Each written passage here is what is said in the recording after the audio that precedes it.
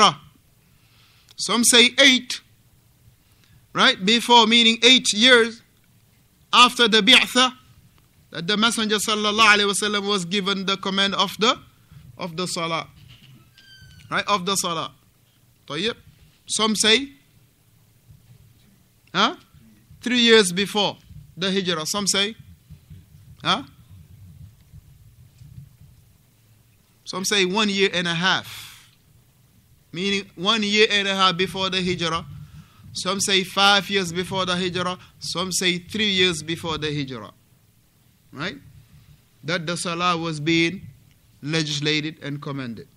But ala ayyin, there was nothing else that was commanded upon the believers except what? At tawheed and as salah. Now that shows the importance of these two things. That shows the importance of these two things. And this is why Abdullah ibn Mas'ud radiyallahu anhu قال This is why Abdullah ibn Mas'ud he say, Whomsoever wanna die upon Islam, make sure you safeguard your five daily prayers. Whomsoever wanna die upon Islam, and this I'm saying it Alhamdulillah for myself and for the youth. Whomsoever wanna die as a Muslim, safeguard your salawat. don't be too tired because you had a basketball game or practice. Don't be too tired because you have tons of homeworks, homework. Don't be too tired because of this or because of that. So you're gonna just go days without establishing your salah. If you start having that habit when you're young, it'll be very difficult for you to catch up with that. Except for those who Allah Ta'ala have mercy upon them. So Alhamdulillah, Ibn Mas'ud he say what? Whomsoever write that down. Abdullah ibn Mas'ud he say, I want you to write it in the big characters, in big capital letters. Abdullah ibn Mas'ud he say, Whomsoever wanna die upon Islam, من أراد أن يموت على الإسلام فليحافظ على صلوات الخمس Whomsoever wanna die upon Islam, safeguard your five daily salawat. Because, and look at it, Akhi, a person, the believer will only die between salawat. Right? A person will only die between two salah. Huh? Either you die, either the person die between Maghrib and Isha. Or he died between after Isha, which is between Isha and Fajr. Or he died between Dhuhr and Asr. Or he died between Fajr and Dhuhr. Or he died between the two salawat. But alhamdulillah, preserving the salawat will give the individual bi'idhnillahi ta'ala to die upon al-Islam. So don't be too tired, oh you my son. My nephew, don't be too tired, right? Just because oh, we had a long day at school, a teacher mate gave us a hard time. No, man, that's not an excuse. Alhamdulillah, the salah will only aid you. The salah will only aid you. It's, it's, not gonna, it's not gonna be against you. Establishing will only aid you. It's only aiding you, Alhamdulillah. Because Allah haven't commanded us anything except it is a maslahah for us. It is, except it is a rectification and a benefit for us. It is none to aid Allah Ta'ala. Allah doesn't need nobody's aid, does he? No, he don't. So this is for us. And Alhamdulillah, how many times a person is doing a tedious job, right? And he is stuck. The salah comes, he go pray. And when he comes back from the salah, the matters become so easy in front of him. As it never became very difficult on him. And we all can testify to this. Sometimes you look at the job, oh, this is easy. Now, one bolt is going to take you eight hours. But after, alhamdulillah, salah time, you go pray, come back. Man, it's like Allah wa ta'ala aided you in a way that you didn't see it coming. So it is now, alhamdulillah, something that is making you, you know, have bad grades. But no, the reality is it's going to help you have good grades. Because in the salah you say, Oh Allah, aid me. Oh Allah, help me in my school. Oh Allah, allow me to have good grades. Oh Allah, allow me to memorize this surah. And the like that. So it is aiding you, alhamdulillah. So know that the Messenger sallallahu alayhi wa sallama فلما استقر بمدينة بالمدينة when the Messenger والسلام, he settled in Medina, then all the remaining points of the religion, of the legislation, were being, were being, and now commended unto him. He say, مثل zakat, like at zakat. Well, there is a point that barakallah fikum needed to be mentioned in regard to the zakat. Right? Which was, which is what? Which is one of the statement of some of the scholars, they say what the zakat was what? Was, Omar?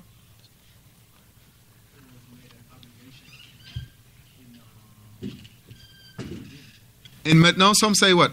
It was made in Mecca, but how? How? How?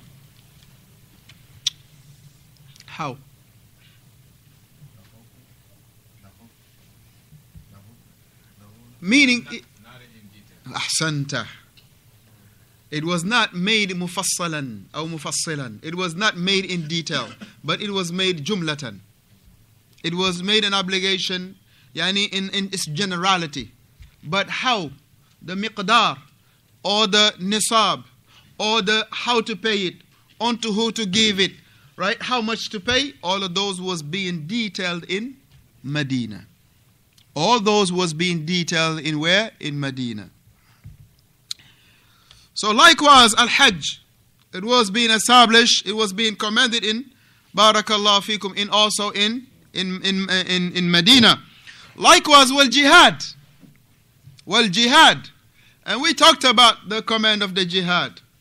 How did the command of the jihad came about, Muhammad?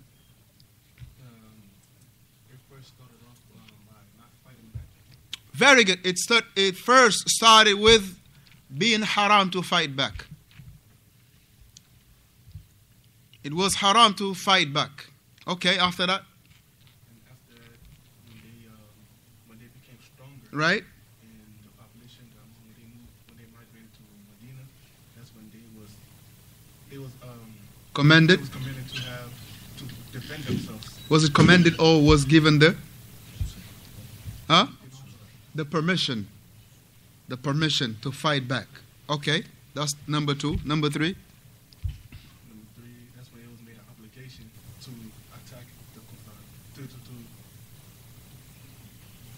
To?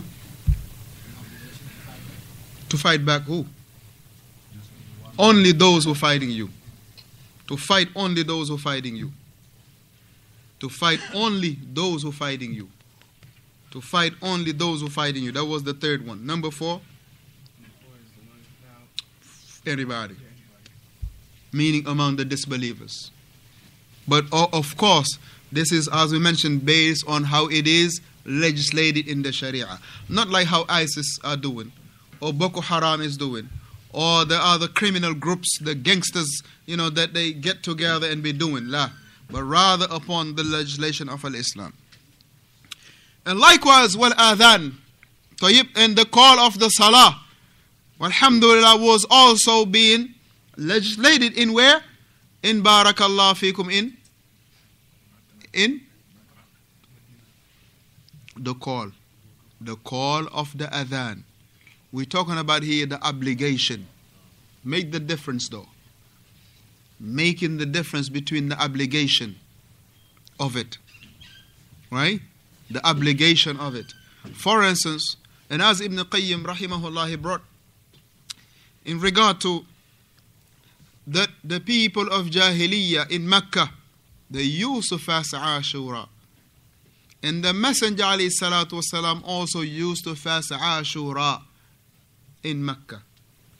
طيب. So here, the adhan, the obligation of the adhan, the obligation of it. We got to make the difference. The obligation of the adhan. والأمر بالمعروف والنهي عن المنكر and also enjoying the good and forbidding the evil. Right? Enjoying the good and forbidding the evil. This is something that is also from the legislation. Right? Enjoying the good and forbidding the evil. وَتَوَاصَوْا بِالْحَقِّ وَتَوَاصَوْا بِالصَّبْرِ Enjoying the good and forbidding the evil. Right? وغير ذلك من شعائر الإسلام and other than this what he mentioned from the legislation of the of al-Islam So therefore, أخذ على هذا عشر سنين. Then this is what the Messenger sallallahu alaihi wasallam was upon for 10 years. This was what he was upon for 10 years. That the remaining obligations of the religion was being ordered and commanded by Allah in that period of 10 years. وَبَعْدَهَا So that means that after that the Sharia was what? Completed. Then what happened after that if the Sharia is completed? Everybody have to follow that Sharia. What else? What's, what's going to happen after the Sharia is completed? Omar? Right, it's completed. What ha- what's going to happen? A major issue that can happen after the Sharia is completed. Is Right, what is the major event that will happen after the Sharia is completed? Ahsanta. The next thing will be the death of the Prophet sallallahu alaihi wasallam. Right? Because his mission is what? Completed. So he mentioned أخذ على هذا عشر سنين and upon those 10 years that the Messenger sallallahu alaihi wasallam he was establishing the remaining point of what? The Sharia of Al-Islam. And وبعدها and after that توفي صلوات الله وسلامه عليه and after that the messenger sallallahu alaihi wasallam he died and after that the prophet alayhi salatu wasalam he died you know saying that the prophet sallallahu alaihi wasallam died is, is something that the sufis don't accept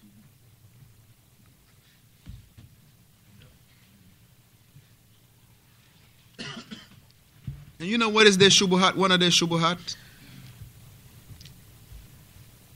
they always uh, they say it's high. No, one of their shubuhat that they use. One of their shubuhat that they use. I got a nice book as a prize for that. One of the doubts that they use to. Ay,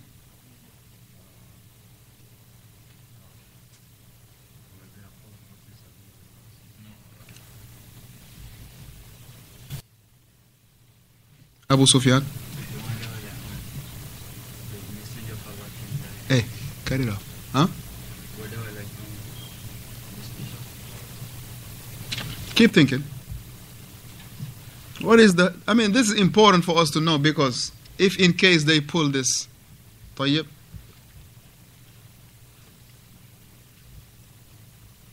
Muhammad. Omar. Ah, not. One of the. hu- One that uh, he think is uh, put in with Allah is not that. No, not that verse.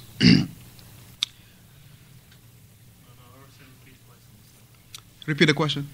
Meaning, the people of Sufi, of Sufiya, the grave worshippers, they don't believe that the Prophet died. And they be taking some things from the religion and they want to use it as, we will say, as falsehood, not evidence, but as shubuhat. When the person is making the tashahud, what do we say? Assalamu huh? Alayka. Wa alaykum assalam wa rahmatullahi wa barakatuh. Al-Hajj. Assalamu alayka. Now listen, I'm to say it now publicly. For those brothers, alhamdulillah, it, it, it's that barakallah fiqh went to Hajj and come back, it will not be tolerated that you drag your pants no more. Seriously. On a serious note. Seriously. And we mentioned this, Allahu Akbar. One of the brothers, he's not here, I'm going to mention his name. Abdullah Drame, the quiet one. Ever since he came from Hajj, we never seen him drag his pants no more. Never seen him drag his pants after he came from Hajj. Ila yawmina hadha. So when they say Assalamu alayka, shufka, right? Assalamu alayka is like you to, to you, meaning somebody that is right in front of you. Some, there's not somebody that is hidden.